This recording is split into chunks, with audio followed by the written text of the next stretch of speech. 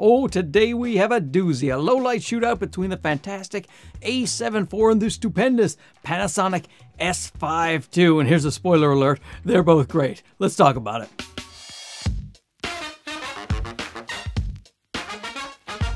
So for my low light test, I like to include a practical situation. So I take these cameras out in the backyard of the east wing of my estate, and then I just show how they do outside in the nighttime, because really that is the time you're probably going to have the least amount of light when you're out there running and gunning, like the kids say, and you don't have any lights, because of course you should always bring lights. Professionals have lights wherever they go. But maybe you're making a documentary about mole rats and you know you can't bring lights down into the hole of a mole rat, they, they don't like that. They will uh, not participate in your documentary. So, uh, which of these cameras will be better for you when you're invading the homes of mole rats? We're about to find out. And fun, towards the end, I will show the iPhone 13 Pro in comparison to these two full frame beasts, just so that you can see the difference between what a fantastic low light camera will do with a big sensor compared to a little iPhone, just for fun and for reference. And I will also do a more scientific test where I will just keep everything the same except raise the ISO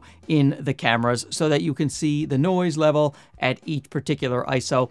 But I really like the practical tests of going out so you can see the difference out there in the dark. The first thing I'm going to show is if you shoot in log. Now, I wouldn't recommend you shoot in log if you're in extreme low light conditions like I'm about to show, because uh, if you expose log, if you underexpose log, you're going to get some really grainy, messy footage, so uh, I like to use standard picture profiles when I'm shooting in extreme low light, so I will show those tests after. But first, let's go with the log. Now, I will say that the Panasonic will only go to uh, 51,200 as its max ISO. It does have an extended ISO, but that range is not available for Vlog, so uh, this will max out at 51,200. This guy can go all the way to 102,400. Let's check it out now.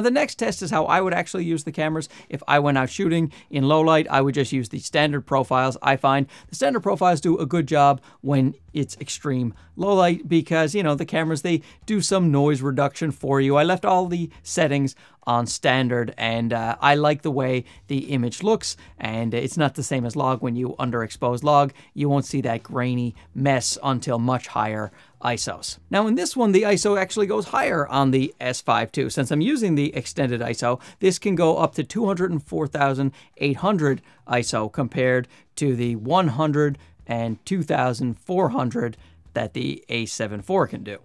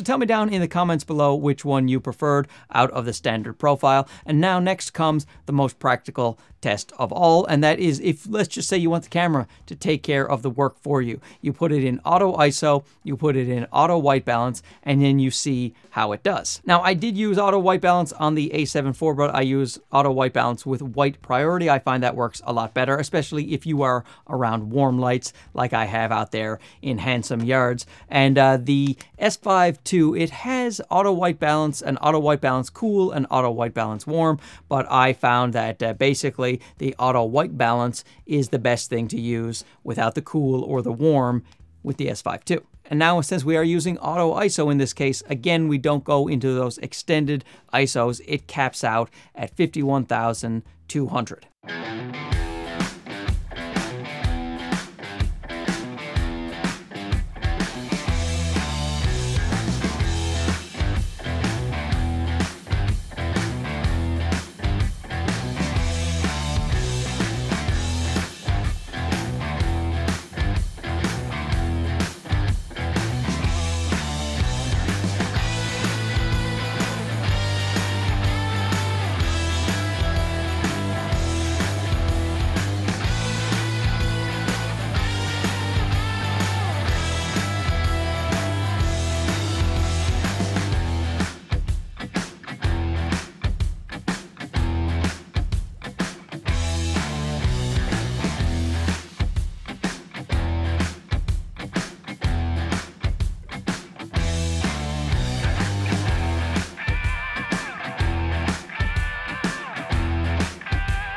So I thought the Sony fared better in this case because, first of all, I like the way it white balanced better in that situation as long as you're using white priority. And of course, because in auto, this guy will go all the way to 102,400, then it can do that. Now, you if you are in a situation where you've maxed out to 51,000 200. You could just go in to your ISO, just a button right here on the top, and then you could move it up to your heart's content, right up to 204,800. So it is available for you. But I'm just saying, if you're going to use just the auto settings, walk around, have the camera do the work, the A7 IV is going to do a better job for you. Now here's that iPhone 13 test I was going to show you.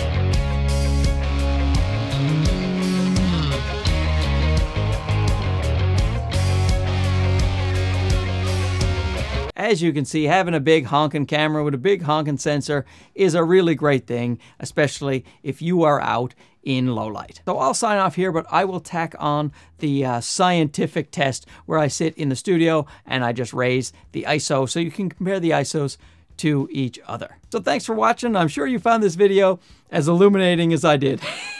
you can't you can't thumbs down now. You made it this far. We'll talk to you again soon. Okay, bye-bye.